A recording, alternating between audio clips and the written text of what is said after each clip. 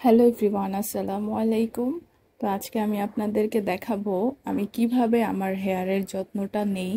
তো আমার চুলটা অনেকই পড়ে ইদানিং তো চুল পড়ার কারণে হচ্ছে আমি একটা পেজ থেকে এই কম্বোটা কিনে নিয়েছি।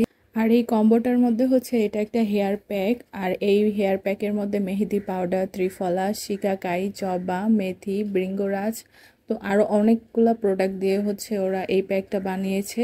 আর এই প্যাকটা ব্যবহার করলে চুলটা নাকি অনেক সিল্কি হয়। তো যাই হোক, সেটা আমি আপনাদের সাথে শেয়ার করব। আর এটা হচ্ছে মেহেদির গুঁড়া, যেটা হচ্ছে হেয়ার প্যাকের সাথে কিংবা এভাবে মেহেদি প্যাকটা একটা ডিমের সাথে মিক্সড করে চুলে দিলেও চুলটা ভালো থাকে। আর এটা হচ্ছে একটা অর্গানিক হেয়ার অয়েল, যেটা অনেকগুলো যেটা অনেকগুলো প্রোডাক্ট দিয়ে ওরা বানিয়েছে। আর এটা হচ্ছে ক্যাস্টার অয়েল এটা চুলের জন্য খুবই ভালো, নতুন চুল গজাতে সাহায্য করে। আর এইটা হচ্ছে একদম নারিকেল তেল। ওদের নিজের হাতের বানানো। আর এটা হচ্ছে একটা নিম অয়েল। আর আমি এই কম্বোটা কিনে একটা হেয়ার ব্যান্ড ফ্রি পেয়েছি। তো যাই হোক, এখন হচ্ছে আমি এই কম্বোটা ব্যবহার করব। তো আমি হচ্ছে প্রথমে প্যাক লাগাবো আজকে। আর প্যাকের জন্য হচ্ছে আমি এখানে অ্যালোভেরা যে জেল, আমার একটা গাছের অ্যালোভেরা জেল কেটে নিয়েছি ফ্রেশ। আর ফ্রেশ অ্যালোভেরা জেলটা আমি এখান থেকে বের করে নিয়েছি। তো এটাকে একটু আমি হালকাভাবে মিক্সড করে নিব। আর এই প্যাকটা ব্যবহারে চুলের রক্ষতা দূর হয়ে যাবে। তারপর হচ্ছে যদি চুল মানে জট বাঁধা থাকে, তো চুলটা সিল্কিও হয়ে যাবে, চুল পড়াও বন্ধ হবে। তো সব কিছু মিলিয়ে হচ্ছে আমি এর আগেও প্যাক ব্যবহার করছিলাম মানে নিজের হাতে বানানো, তো কখনো কেনা হয়নি। তো আজকে প্রথমবারই হচ্ছে আমি কোনো পেজ থেকে প্রোডাক্ট কিনলাম, কারণ বানানোর মতন ধৈর্য আর আমার ছিল না।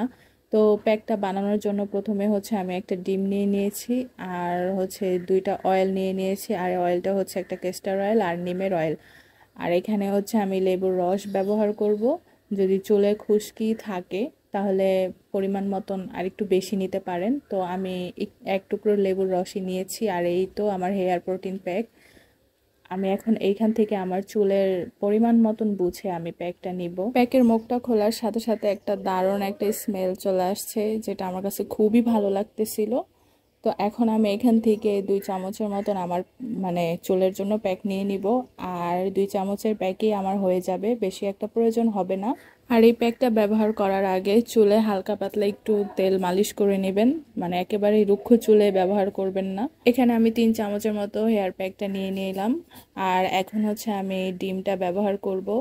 কেউ চাইলে ডিমের সাদা অংশটা ব্যবহার করতে পারেন, কিন্তু আমি ডিমটা পুরোটাই ব্যবহার করব।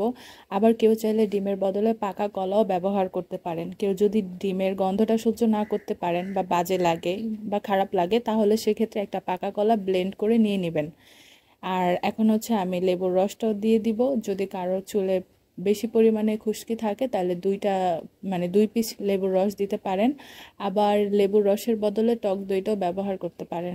যদি কেউ টক দই ব্যবহার করেন, তাহলে লেবুর রসটা ব্যবহার করবেন না। আর লেবুর রস ব্যবহার করলে টক দই ব্যবহার করবেন না। যেহেতু আমি লেবুর রসটা ব্যবহার করছি, তাই আমি এখন টক দইটা ব্যবহার করছি না। তো এখন হচ্ছে আমি এই প্যাকগুলোর সাথে হচ্ছে অয়েলটাও মিক্সড করে নিব। প্রথমে হচ্ছে আমি এখানে ক্যাস্টার অয়েল দিয়ে দিব, আর ক্যাস্টার অয়েল চুল গজানোর জন্য অনেক সাহায্য করে। এই অয়েলটা খুবই ভালো খুবই ভালো। এর আগেও আমি মানে বাজার কিংবা মার্কেট থেকে কিনে হচ্ছে কেস্টার অয়েল মানে তেলের সাথে হালকা একটু পরিমাণে ব্যবহার করতাম। তো কেস্টার অয়েলটা নেওয়ার সাথে একটু ঝাঁকি দিয়ে নিলাম। তো ঝাঁকি দিয়ে তারপর হচ্ছে এখানে আমি পরিমাণ মতন এক চামচের মতো কেস্টার অয়েল নিয়ে নিব। আর এই অয়েলটা হচ্ছে অনেক বেশি ভারী থাকে মানে ঘন থাকে। অন্য অন্য অয়েল যেরকম একটু পাতলা থাকে, এটা তার থেকে একটু ভারীটা বেশি থাকে আর আঠা আঠা ভাব থাকে অয়েলটার মধ্যে। এখন হচ্ছে আমি এক চামচের মতো নিম অয়েল নিয়ে নিব। আর নিম অয়েলটা খুবই ভালো, কারণ মাথায় যদি কারও চুলকানি থাকে বা এরকম কোনো প্রবলেম থাকে, তাহলে সেক্ষেত্রে নিমের অয়েলটা খুব কার্যকারিতা, চুলকানি কমে যায়। তো সেজন্য হচ্ছে আমি একটু নিমের অয়েলটাও নিয়ে নিব। এখন আমি সবগুলো উপকরণ একসাথে মিক্সড করব। আর মিক্সড করার পরে হচ্ছে আমি এই প্যাকটা আধা ঘণ্টার মতো রেখে দিব এক জায়গায়। আধা ঘণ্টা রেখে দিয়ে তারপরে হচ্ছে আমি এই প্যাকটা ব্যবহার করব। কারণ আধা ঘণ্টা রেখে দিলে এই প্যাকের যত উপকরণগুলো আছে সবগুলো একসাথে মিশে যাবে আর পরে ব্যবহার করলেও সেটা ভালো রেজাল্ট পাওয়া যাবে। এরপরে হচ্ছে এই প্যাকটা আধা ঘণ্টা রেখে দিয়ে পরবর্তীতে আমি ব্যবহার করব।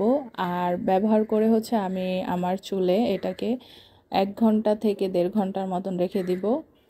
পরবর্তীতে আমি শ্যাম্পু দিয়ে আমার হেয়ারটা ওয়াশ করে নিব খুব ভালোভাবে।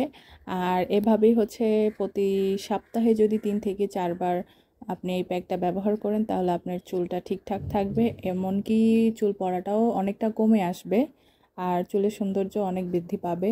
তো যাই হোক, আমি এভাবেই সব সময় হচ্ছে আমার হেয়ারের যত্নটা নিয়ে থাকি। এজন্যই আপনাদের সাথে আমি আজকে শেয়ার করে নিলাম। তো যদি আমার আপনাদের কাছে এই ভিডিওটা ভালো লেগে থাকে, তাহলে অবশ্যই আমার পাশে থাকবেন। আমার ভিডিওতে একটা লাইক, কমেন্ট, শেয়ার করে পাশে থাকবেন। আল্লাহ হাফিজ। সবাই ভালো থাকবেন। আবার নেক্সট একটা ব্লগে কিংবা ভিডিওতে দেখা হচ্ছে।